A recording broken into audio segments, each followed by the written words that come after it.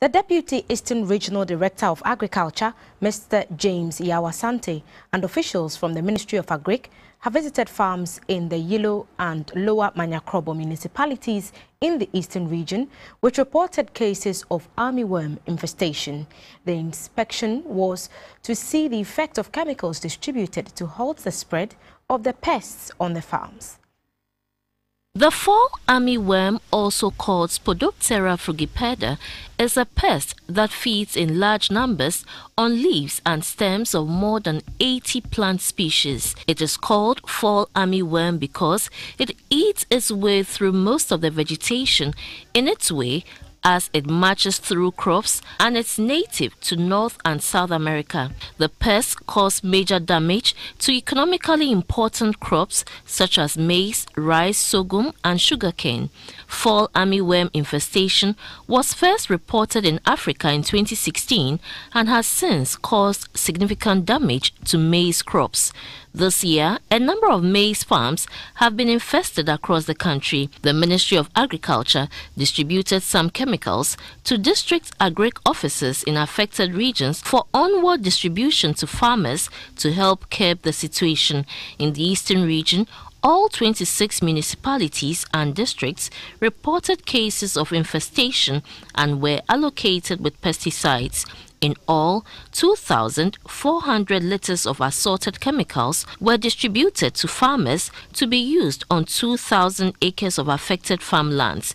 The Deputy Regional Director, Mr. James Yaw Asante, first visited affected farms at Okwenya in the Yilo Krobo municipality. One of the affected farmers, Mr. Emmanuel Kote, complained that the chemicals given were not enough to spray all the farms, and this, he said, can lead to the reinfestation if not tackled appropriately. The Yilo Krobo Municipal Director of Agriculture, Mr. Daniel Odru, gave an overview of the infestation in the municipality. Last year, even though we had the problem, the problem of the infestation, it was very difficult for us to control. But this year, because we were able to come out with the chemical that was able to control the insects last year, this year we've been able to manage it. So the destruction in the municipal is minimal as compared to last year. In addition, the government was able to support us with the chemicals, and we we have also to recommended the chemical that we've been using last year to control it or to manage it to the farmers. So those who can afford goes to the agrochemical shop buy it in addition to what the government gave them to spray. In the lower Manya Krobo municipality, about 500 acres of maize farms were affected.